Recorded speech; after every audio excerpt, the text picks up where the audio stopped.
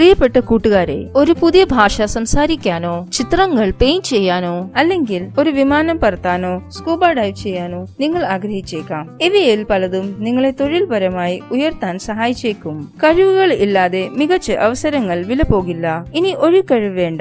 ഇന്ന് ലോകത്തിലെ വിവരങ്ങളുടെയും മാറ്റത്തിന്റെയും അളവിൽ ഏറ്റവും വേഗത്തിൽ പൊരുത്തപ്പെടാനും പഠിക്കാനും കഴിയുന്ന വ്യക്തി ഏറ്റവും വിജയിക്കും. കേവലം ഇരുപത് മണിക്കൂറിന്റെ ശ്രദ്ധ കേന്ദ്രീകരിച്ച് ബോധപൂർവമായ പരിശീലനം പൂർത്തിയാക്കുന്നതിലൂടെ റെക്കോർഡ് സമയത്തിൽ ഏത് സ്വപ്ന നൈപുണ്യത്തിന്റെ അടിസ്ഥാന കാര്യങ്ങൾ പഠിക്കാനും അത് ആസ്വദിക്കാനും നിങ്ങൾക്ക് കഴിയും. വളരെ ഉപയോഗപ്രദമായ അറിവ് പകരുന്ന ഈ വീഡിയോ അവസാനം വരെ കാണുക. കണ്ട ശേഷം നിങ്ങൾക്ക് ഇതെല്ലാം സാധ്യമാവും. ഒന്ന് ഏതൊരു നൈപുണ്യവും വ്യവസ്ഥാപിത സമീപനത്തിലൂടെ നേടാൻ കഴിയും. രണ്ട് സങ്കീർണമായ കഴിവുകൾ പുനർനിർമ്മിക്കാൻ കഴിയും. മൂന്ന് ഫലപ്രദമായ പരിശീലനം പരമാവധി വർദ്ധിപ്പിക്കാൻ കഴിയും. നാല് പൊതുവായ പഠന തടസ്സങ്ങൾ നീക്കം ചെയ്യാൻ കഴിയും. ഓഥർ കോഫ്മാന് പുതിയ കാര്യങ്ങൾ അറിയാൻ വലിയ താല്പര്യമുണ്ടായിരുന്നു. പക്ഷേ അദ്ദേഹത്തിന് ഒരു മകളുടെ പിതാവായതിനു ശേഷം പുതിയതെന്തെങ്കിലും പഠിക്കുന്നതിന് ബുദ്ധിമുട്ടായിരുന്നു. അതിനാൽ ഈ വിഷയത്തെക്കുറിച്ച്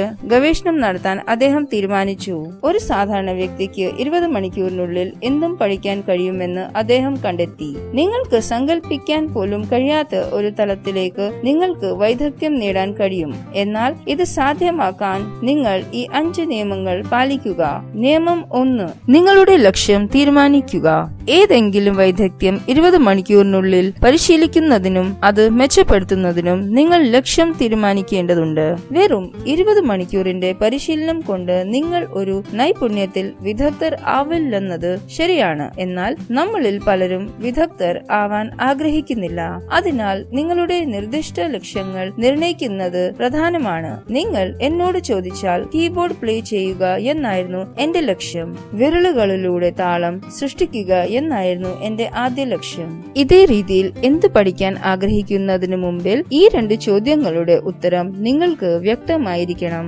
ആദ്യത്തെ ചോദ്യം നിങ്ങൾ എന്തിനാണ് പുതിയ വൈദഗ്ധ്യം പഠിക്കാൻ ആഗ്രഹിക്കുന്നത്?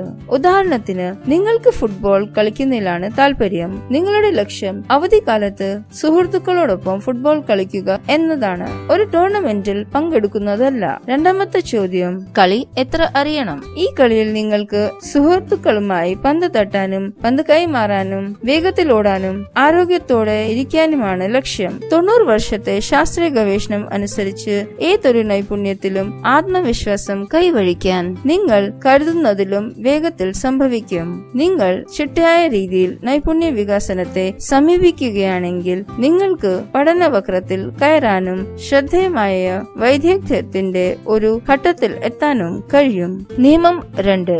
കഴിവുകളുടെ പുനർനിർമ്മാണം. ഒരു പുതിയ വൈദഗ്ധ്യം പഠിക്കാൻ ആദ്യം നിങ്ങൾ അതിനെ ഉപകഴിവുകളായി വിഭജിക്കണം. ആദ്യം ഏറ്റവും പ്രധാനപ്പെട്ട പഠിക്കാൻ ആരംഭിക്കുക. കാരണം അത് നിങ്ങൾക്ക് പരമാവധി ഫലം നൽകും. രചയിതാവ് കോഫ്മാൻ യുക്ലിലി പ്ലേ ചെയ്യാൻ തുടങ്ങിയപ്പോൾ അദ്ദേഹം സ്ട്രിങ്ങുകൾ ശരിയായി എങ്ങനെ ഇടാമെന്ന് ആദ്യം പഠിച്ചു. കാരണം സ്ട്രിങ്ങുകൾ ഇല്ലാതെ ആ ഉപകരണം പ്ലേ ചെയ്യാൻ കഴിയില്ല. അതിനാൽ അത് ഏറ്റവും പ്രധാനപ്പെട്ടതാണ്. പിന്നീട് റോക്ക് സ്റ്റാർ എന്ന ബാൻഡിൽ നിന്ന് വെറും അഞ്ച് സ്ട്രിങ്ങുകൾ ഉപയോഗിച്ച് എല്ലാത്തരം പോപ്പ് ഗാനങ്ങൾ പ്ലേ ചെയ്യാമെന്ന് അദ്ദേഹം മനസ്സിലാക്കി. അതിനാൽ രചയിതാവ് ആ അഞ്ച് ചരടുകളെ മാത്രം കൂടുതൽ ഉപനൈപുണ്യങ്ങളുമായി വിഭജിച്ച് അതിൽ ശ്രദ്ധ കേന്ദ്രീകരിച്ചു. ഉദാഹരണത്തിന് ഒരു യൂക്ലിലെ എങ്ങനെ പിടിക്കാം? വിരൽ ചലനങ്ങൾ സ്ട്രമ്മിംഗ് കഴിവുകൾ. അങ്ങനെ അദ്ദേഹം കഴിവുകളെ ഉപകഴിവുകളുമായി വിഭജിച്ചു. അതുകൊണ്ടാണ് അദ്ദേഹം ടെഡ് ടോക്ക് പോലെയുള്ള ഒരു വലിയ സ്റ്റേജിലേക്ക് പോയത്. അവിടെ ഇരുപത് മണിക്കൂറിനുള്ളിൽ അദ്ദേഹം പഠിച്ച ആ വൈദഗ്ധ്യത്തിന്റെ പ്രകടനം നൽകി. അദ്ദേഹത്തിന്റെ പ്രകടനം അതിശയകരമായിരുന്നു. ഇത് എൺപത് ഇരുപത് തത്വത്തിന്റെ സമാനമായ ഒന്നാണ്. നിങ്ങളുടെ ഇരുപത് ശതമാനം പരിശ്രമം കാരണം നിങ്ങൾക്ക് എൺപത് ശതമാനം ഫലം ലഭിക്കും. അതുപോലെ തന്നെ ഒരു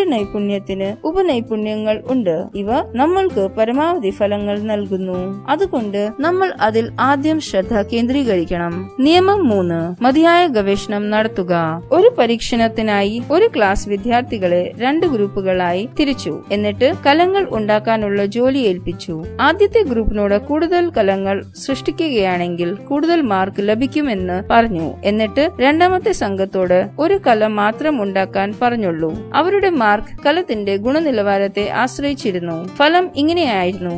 രണ്ടാമത്തെ ഗ്രൂപ്പ് ധാരാളം ഗവേഷണങ്ങൾ നടത്തുകയും ഗുണനിലവാരമുള്ള ഒരു കലം സൃഷ്ടിക്കുകയും ചെയ്തു. മറുവശത്ത് ആദ്യത്തെ ഗ്രൂപ്പിലെ കുട്ടികൾ അവരുടെ തെറ്റുകളിൽ നിന്ന് പഠിക്കുകയും രണ്ടാമത്തെ ഗ്രൂപ്പിനേക്കാൾ പത്തരട്ടി കലങ്ങൾ ഗുണനിലവാരത്തിൽ ഏറെക്കുറെ സമാനവും മികച്ചതും സൃഷ്ടിക്കുകയും ചെയ്തു. ഈ പരീക്ഷണം പ്രായോഗിക പ്രവർത്തനമാണ് ഏറ്റവും പ്രധാനപ്പെട്ട കാര്യമെന്ന് കാണിക്കുന്നു. മിക്കപ്പോഴും നമ്മൾ തെറ്റ് ചെയ്യുന്നു. പുതിയത് പഠിക്കാൻ നമ്മൾ തിയറി വർക്കിൽ പരമാവധി സമയം ചെലവഴിക്കുന്നു. അവസാനം നമ്മൾ പറയുന്നു എനിക്ക് പുതിയത് എന്തെങ്കിലും പഠിക്കാൻ ഇല്ല. അതിനാൽ ഇത് ശ്രദ്ധിക്കുക. നിങ്ങൾക്ക് എന്തെങ്കിലും പുതിയതായി പഠിക്കണം എങ്കിൽ ആവശ്യമായ ഗവേഷണം മാത്രം ചെയ്യുക. കാരണം അവസാനം നിങ്ങളുടെ പരിശീലനം നിങ്ങൾക്ക് ശരിയായ ഫലം നൽകും. ഗവേഷണം അല്ല. നിങ്ങൾക്ക് ഫുട്ബോൾ കളിക്കാൻ പഠിക്കാനാണെങ്കിൽ പുസ്തകം എടുത്ത് അതിന്റെ ഫിസിക്സ് പഠിക്കുന്നതിൽ കാര്യമില്ല പക്ഷേ ബോൾ എടുത്ത് തട്ടി കളിച്ചാൽ അത് ഫലപ്രദമായിരിക്കും. ഒരു നൈപുണ്യം ചെയ്തു നോക്കുന്നതിന് മുമ്പ്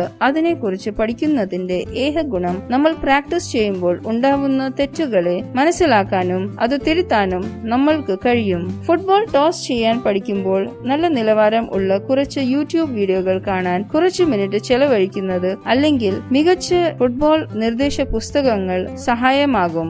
ശരിയായ ടോസിംഗ് സാങ്കേതികത കണ്ടെത്തി കഴിഞ്ഞാൽ പുറത്തുപോയി പരിശീലിക്കാൻ ഉള്ള സമയമായി. നിങ്ങൾ പരിശീലിക്കുമ്പോൾ കൂടുതൽ സംശയങ്ങൾ കണ്ടെത്താം. ഇപ്പോൾ ഉത്തരങ്ങൾക്കായി വീണ്ടും വീഡിയോസ് അല്ലെങ്കിൽ പുസ്തകങ്ങളിലേക്ക് മടങ്ങുക. നിങ്ങളുടെ പഠന സമയം ചുരുക്കാൻ ആഗ്രഹിക്കുന്നുവെങ്കിൽ ഉപദേശകരെയോ കോച്ചുകളുടെ സഹായമോ തേടാം. ഇരുപത് മണിക്കൂർ പരമാവധി പ്രയോജനപ്പെടുത്താനായി സ്വയം ശരിയാക്കാൻ വേണ്ടത്ര പഠിക്കുക. നിയമം നാല്. തടസ്സങ്ങൾ നീക്കം ചെയ്യുക. നിങ്ങൾക്ക് പുതിയതെന്തെങ്കിലും പഠിക്കണമെങ്കിൽ ഇരുപത് മണിക്കൂർ പരിശീലിക്കുന്നത് വലിയ കാര്യമല്ല. നിങ്ങൾ ഒരു ദിവസം നാൽപ്പത് മിനിറ്റ് പരിശീലിച്ചാലും ഒരു മാസത്തിനുള്ളിൽ നിങ്ങളുടെ ലക്ഷ്യത്തിലെത്തും. എന്നാൽ നിങ്ങൾക്ക് അചഞ്ചലമായ ഫോക്കസ് ഉണ്ടായിരിക്കണം എന്ന് ഓർമ്മിക്കുക. നിങ്ങളുടെ ഫോക്കസ് വർദ്ധിപ്പിക്കുന്നതിന് നിങ്ങൾ രണ്ട് കാര്യങ്ങൾ ചെയ്യണം. ഒന്ന് ശ്രദ്ധ പതറിപ്പോക്കൽ ഒഴിവാക്കുക. രണ്ട് തടസ്സങ്ങൾ നീക്കം ചെയ്യുക. ശ്രദ്ധ പതറിപ്പോക്കൽ ഒഴിവാക്കാൻ ടി വി സ്വിച്ച് ഓഫ് ചെയ്യുക. എന്നിട്ട് നിങ്ങളുടെ ഫോൺ സൈലന്റ് മോഡിൽ സൂക്ഷിക്കുക.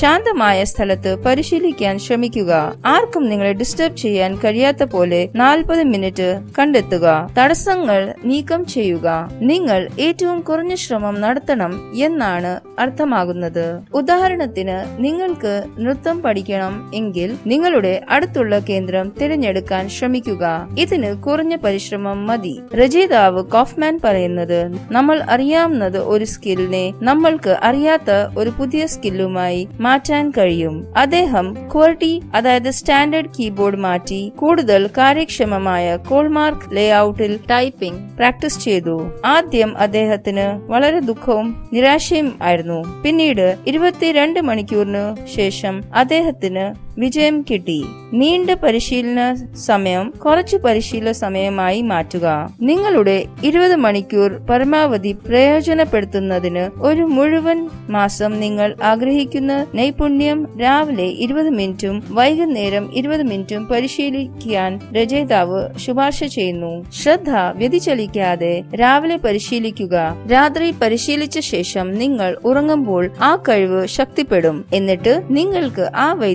വൈദഗ്ധ്യത്തിൽ അത്ഭുതകരമായ പ്രകടനം ചെയ്യാൻ കഴിയും. നിയമം അഞ്ച്. ഇരുപത് മണിക്കൂർ മുൻകൂട്ടി നിശ്ചയിക്കുക. ആദ്യം നിങ്ങൾ നിങ്ങളോട് പറയണം എന്ത് സംഭവിച്ചാലും പ്രശ്നമല്ല. ഞാൻ ഇരുപത് മണിക്കൂർ പഠിക്കാൻ മാറ്റിവെക്കും. ഇത് തീരുമാനങ്ങൾ എടുക്കാൻ സഹായിക്കുന്നു. ഈ വൈദഗ്ധ്യം എനിക്ക് വളരെ പ്രധാനമാണോ? ഇതിനായി ഞാൻ എന്റെ ജീവിതത്തിൽ നിന്ന് ഇരുപത് മണിക്കൂർ ചെലവാക്കണോ? അഥവാ നിങ്ങൾക്ക് ഇല്ലെന്നാണ് തോന്നുന്നെങ്കിൽ കൂൾ ഈ വൈദഗ്ധ്യം പഠിക്കുന്നതിന് പകരം പുതിയ എന്തെങ്കിലും പ്രധാനപ്പെട്ട പഠിക്കുക. രണ്ടാമത്തെ കാര്യം നിങ്ങൾ ഇരുപത് മണിക്കൂർ അനുവദിക്കുകയാണെങ്കിൽ ഒരു പുതിയ വൈദഗ്ധ്യം പഠിക്കുന്നതിന് മുമ്പ് നമ്മൾ എല്ലാവരും കടന്നു പോകേണ്ട നിരാശാജനകമായ അവസ്ഥയെ മറികടക്കാൻ ഇത് നിങ്ങളെ സഹായിക്കും. ഈ പ്രയോജനകരമായ ഐഡിയാസ് ഞാൻ ജോഷ് കോഫ്മാൻ എഴുതിയ ദ ഫസ്റ്റ് ട്വന്റി അവേഴ്സ് ബുക്കിൽ നിന്ന് ആണ് നിങ്ങൾക്ക് വേണ്ടി എടുത്തത്. ജീവിതം മാറ്റുന്ന ഈ പുസ്തകം വാങ്ങാൻ ബൈ ലിങ്ക് ഡിസ്ക്രിപ്ഷനിൽ കൊടുത്തിട്ടുണ്ട്. ഈ വീഡിയോ ഇഷ്ടപ്പെട്ടെങ്കിൽ ലൈക്ക് ചെയ്യുക ഷെയർ ചെയ്യുക പ്രിയപ്പെട്ടവരോടൊപ്പം അവരുടെ ജീവിതം മെച്ചപ്പെടുത്തുക. ചാനൽ സബ്സ്ക്രൈബ് ചെയ്യാൻ മറക്കരുത്. കമന്റ് ചെയ്തറിയിക്കുക ഏതൊക്കെ പുതിയ നൈപുണ്യങ്ങൾ നിങ്ങൾക്ക് പഠിക്കാൻ കഴിഞ്ഞു. നന്ദി.